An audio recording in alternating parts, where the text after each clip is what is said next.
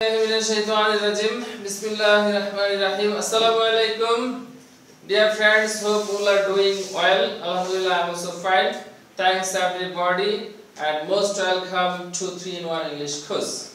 So সুপ্রিয় বন্ধুগণ আবারো সবাইকে শুভেচ্ছা জানিয়ে শুরু করছি আমাদের আজকের আলোচনা আজকের আলোচনা how to write a long sentence that how to translate a long sentence অনেক সময় বড় বড় বাক্যগুলো ইংরেজি করতে গিয়ে বা বলতে গিয়ে আমরা কনফিউজড হয়ে যাই বা দ্বিধাগ্রস্ত হয়ে যায় যে বাক্যের কোন অংশটা আগে হবে, কোন অংশটা পরে হবে, কোন অংশটা মাঝখানে হবে, কীভাবে বাক্যটা সাজাবো।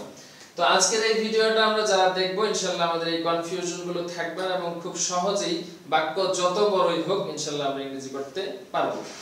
আর সেটা শেখার জন্য, ভিডিওটা শেষ পর্যন্ত আমার সাথে থাকার জন্য অনুরোধ করছি। আর যারা এখনও ভিডিওটা সাবস্ক্রাইব করেন নাই, আমার চ্যানেলটি, যারা এখনও সাবস্ক্রাইব করেন নাই, সবাইকে অনুরোধ করব অবশ্যই চ্যানেলটি সাবস্ক্রাইব করুন এবং আপডেটেড ভিডিওগুলো পাওয়ার জন্য বেল আইকনটি প্রেস করে রাখুন। তো ধন্যবাদ জানিয়ে শুরু করছি আমাদের আজকের লেসন আসলে আমরা জানি English is an international language and without knowing English we can't certify ourselves that we are educated that means proper educated that's why to learn English actually we need a easy method we need an easy method. And I wanna say English is as necessary as easy. That means ইংরেজি যেমন প্রয়োজনীয়, তেমন সহজ। তো আসলে সেই সহজ পদ্ধতিগুলো ইনশাআল্লাহ আমি আপনাদের সামনে স্টেজ করার চেষ্টা করব। তো সেটার জন্য সবাইকে অনুরোধ করব আমার সাথে থাকার জন্য। তো যাই হোক, আমাদের আজকের lesson how to write a long sentence or how to translate a long sentence তো আমরা জানি বাক্য গঠন করার জন্য প্রথমে আমরা হলো সাবজেক্ট ভার্ব এবং অবজেক্ট ফলো করি। সাবজেক্ট ভার্ব অবজেক্ট তো সাবজেক্ট ভার্ব অবজেক্ট এতটুকু করার পরেও বাক্যের বড় একটা অংশ বাকি থেকে যায় ইংরেজি করতে বা করার। তো সেই বড় অংশটা বা বাকি অংশটা কীভাবে ইংরেজি করব সেটার জন্যই মূলত আমাদের আজকের লেসন তো সাবজেক্ট ভার্ব অবজেক্ট এই তিনটা আমরা প্রথমে সহজে বসিয়ে দিব। বসানোর পর আমরা একটা মিন্স টেকনিক ফলো করব হুইচ ইজ কল্ড এমপিটি আমাদের আজকের টেকনিকের নাম হলো এমপিটি অর্থাৎ এম তে এখানে আমি যেটা বুঝিয়েছি সেটা হলো ম্যানার অর্থাৎ বাংলা লেখা আছে এখানে পদ্ধতি যে যে কাজটা, যে ভার্বটা আমরা এখানে নিব, সেই ভার্বটার পদ্ধতি বা ম্যানারটা কি? অর্থাৎ আমরা প্রথমে অবজেক্ট পর্যন্ত করব অবজেক্টের পরেই বসা হলো ম্যানার অর্থাৎ কাজের ধরন বা পদ্ধতি। আর সেটা বের করব কীভাবে? ভার্বকে কীভাবে দ্বারা প্রশ্ন করব? ভার্বকে যদি আমরা কীভাবে দ্বারা প্রশ্ন করি, তাহলে আমরা ম্যানারটা পেয়ে যাব। তারপরে ম্যানারের পরে আমরা বসে বলে ফি অর্থাৎ প্লেস কর্ম সম্পাদনের স্থানটা কোথায়? আমরা এই প্লেসটাকে বসিয়ে দিব।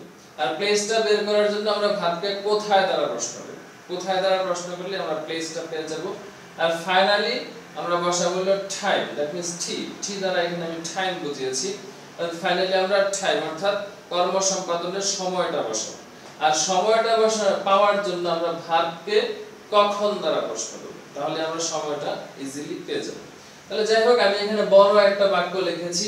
সে বিকেলে তার বন্ধুদের সাথে মাঠে ফুটবল খেলে। বড় একটা বাক্য।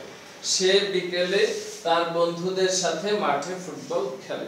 তো প্রথমে আমরা দেখব এই বাক্যের সাবজেক্ট কে। তাহলে এই বাক্যের সাবজেক্ট হলো সে।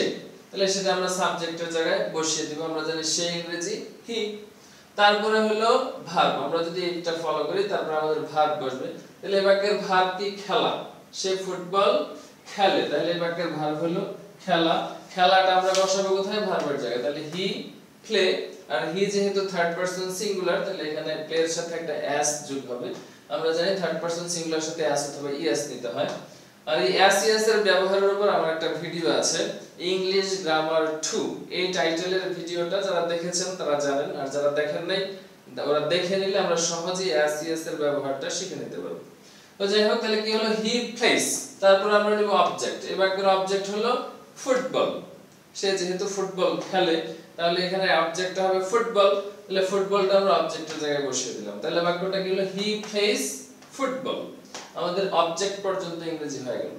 এখন বড় একটা অংশ বাকি থেকে গেল, সেটা হলো বিকেলে তার বন্ধুদের সাথে মাঠে। অর্থাৎ মোস্ট অফ পার্টস আর রিমেইনিং বড় অংশটাই এখনও বাকি আছে। আমরা অনলি তিনটা ওয়ার্ডের ইংরেজি করেছি হি প্লেস ফুটবল তাহলে এখন আমরা আমাদের এমপিটি তে চলে যাব। এমপিটি অনুযায়ী প্রথমে আমরা কি করব? ম্যানার আমি বলেছিলাম ম্যানার বের করার জন্য ভার্বকে কীভাবে দ্বারা প্রশ্ন করব? তাহলে এখন যদি আমি বলি কীভাবে খেলে, তাহলে অ্যানসারটা কি হবে? তার বন্ধুদের সাথে। কীভাবে খেলে? তার বন্ধুদের সাথে। তাহলে আমরা অবজেক্টের পরেই এই ম্যানারটা বসিয়ে দিব, অর্থাৎ with his friends with his friends তারপরে আমি বলেছিলাম প্লেস বসবে প্লেস তার প্লেস বের করার জন্য আমরা কি বলেছিলাম? ভার্বকে কোথায় দ্বারা প্রশ্ন করতে হবে। তাহলে এখন যদি বলি, কোথায় খেলে? তাহলে অ্যানসারটা কি হবে? মাঠে। সহজেই পেয়ে যাচ্ছি। কোথায় খেলে? মাঠে। তাহলে আমরা এই প্লে ম্যানারের পরেই প্লেসটা বসিয়ে দিব, অর্থাৎ ইন দা ফিল্ড মাঠে ইংরেজি আমরা সবাই জানি ইন দা ফিল্ড তাহলে আমরা কি বললাম he plays football with his friends in the field বাকি থেকে গেল বিকেল. তো এখন আমরা বিকেলে, অর্থাৎ এটা একটা টাইম আর টাইম বের করার জন্য আমি কি বলেছিলাম? ভার্বকে কখন দ্বারা প্রশ্ন করতে হবে। তাহলে এখন বলি, কখন খেলে? বিকেলে। তাহলে বিকেলেটা আমি টাইমের জায়গায় বসিয়ে দেব, অর্থাৎ অ্যাট আফটার তাহলে সহজে আমরা আজকের বাক্যটা শিখে ফেললাম। যত বড় বাক্যই হোক, আমরা যদি এটা ফলো করি, তাহলে আমি মনে করি 90% বাক্য আমরা খুব সহজে ইংরেজি করতে পারব। 10% or 5% এক্সেপশন থাকতে পারে but most of will be able translate in English very easily তাহলে কি বললাম বাক্যটা? He plays football with his friends in the field at afternoon So this sentence is remaining present indefinite tense. এই বাক্যটা আমাদের present indefinite tense আছে। আর আমরা সাধারণত যে সব কথা বলে থাকি আমাদের কনভারসেশনে most of the sentences are used in six tenses আমরা বেশিরভাগ সময় ছয়টা টেন্স বেশি ব্যবহার করে থাকি। সেটা হলো present indefinite first indefinite future indefinite present perfect present continuous and first continuous তো এখন আমরা যদি আরেকটু দেখি, তাহলে আমরা টেন্সের চেঞ্জগুলো খুব সহজে শিখে ফেলতে পারব। আসলে টেন্স মানে আমরা ভয় পাই অনেকেই। একটা কথা আছে যে সারা জীবন স্টাডি করে আসলে টেন্স শেখা হয় না। টেন্সের টেন্সের কনফিউশনও দূর হয় না। তার দুই মিনিট সময় যদি আপনারা দেন, ইনশাআল্লাহ সকলের টেন্সের কনফিউশন দূর হয়ে যাবে।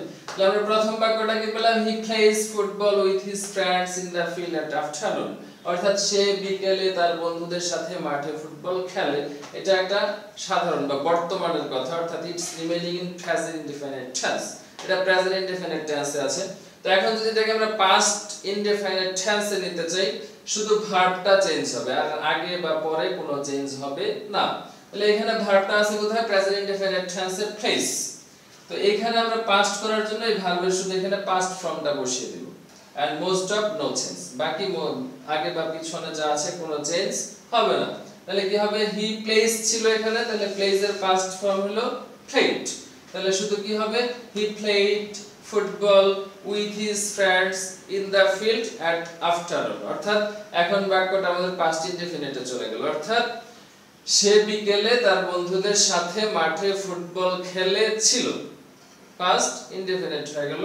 সে বিকেলে তার বন্ধুদের সাথে মাঠে ফুটবল খেলেছিল। ইংলিশটা কি হলো? He played football with his friends in the field at after now to make future indefinite only one will will be put before play শুধু প্লে আগে একটা উইল বসিয়ে দিলে সেটা কি হয়ে যাচ্ছে আমাদের? ফিউচার ইনডেফিনিট তাহলে কি হবে বাক্যটা? He will play football rest of same no change he will play football with his friends in the field at afternoon অর্থাৎ সে বিকেলে তার বন্ধুদের সাথে মাঠে ফুটবল খেলবে, ভবিষ্যতে চলে গেল। সে বিকেলে তার বন্ধুদের সাথে মাঠে ফুটবল খেলবে। তাহলে ইংলিশটা কি পেলাম? He will play football with his friends in the field at afternoon clear next to make present perfect to make present perfect that means কাজটা শেষ ফলাফলটা এখনও বিদ্যমান, সেটাকে প্রেজেন্ট পারফেক্ট বলা হয়। তো প্রেজেন্ট পারফেক্ট করার জন্য এখানে শুধু একটা হ্যাজ বসবে, আর আমরা জানি হ্যাভ হ্যাজ হ্যাড এরপরে ভার্বের সব সময় পাস্ট পার্টিসিপল হয় অলওয়েজ তাহলে এখানে হি এর জন্য হবে হ্যাজ তাহলে he has played player past participle played তাহলে he has played football rest of same no change তাহলে he has played football with his friends in the field and afternoon সে তার বন্ধুদের সাথে বিকেলে মাঠে ফুটবল খেলেছে। কি পেলাম বাক্যটা সে বিকেলে তার বন্ধুদের সাথে মাঠে ফুটবল খেলেছে। English he has played football with his friends in the field at afternoon next to make it present continuous present continuous only is will be put with subject and verb will take ing. অর্থাৎ এখানে সাবজেক্টের পর একটা is আসবে, যেহেতু হি এই জন্য আর প্লেটা playing হয়ে যাবে, অর্থাৎ আইএনজি নিব, আর বাকি রেস্ট অফ নো চেঞ্জ আর কোনো চেঞ্জ হবে না। তাহলে কি he is playing football with his friends in the field at afternoon সে তার বন্ধুদের সাথে বিকালে মাঠে ফুটবল খেলছে, অর্থাৎ এখন খেলতেছে। তাহলে আমরা কি পেলাম সে বিকালে তার বন্ধুদের সাথে মাঠে ফুটবল খেলছে English he is playing football with his friends in the field at afternoon last to make it past continuous past continuous only one was will be put in the place of is is এর জায়গায় শুধু একটা was বসিয়ে দিব rest of no change so what will be the sentence he was playing football with his friends in the field at afternoon অর্থাৎ সে তার বন্ধুদের সাথে বিকেলে মাঠে ফুটবল খেলছিল অর্থাৎ সে বিকেলে তার বন্ধুদের সাথে মাঠে ফুটবল খেলছিল English, he was playing football with his friends in the field afternoon. So dear friends, thanks a lot for having your patience.